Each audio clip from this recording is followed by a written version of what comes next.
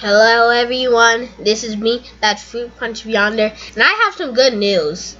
Today I got Comedy World. Yes, I did got Comedy World. And the second thing is that the Nether update in Minecraft is coming out on June 23rd. So don't miss that. And also, we are 10 days to the BFB 21 release date window. So, BFB 21 will be released in the window between June 27 and July 1st. So, we're 10 days away from that. And the school year year ends in 9 days for me. So my school year ends in 9 days. Oh well.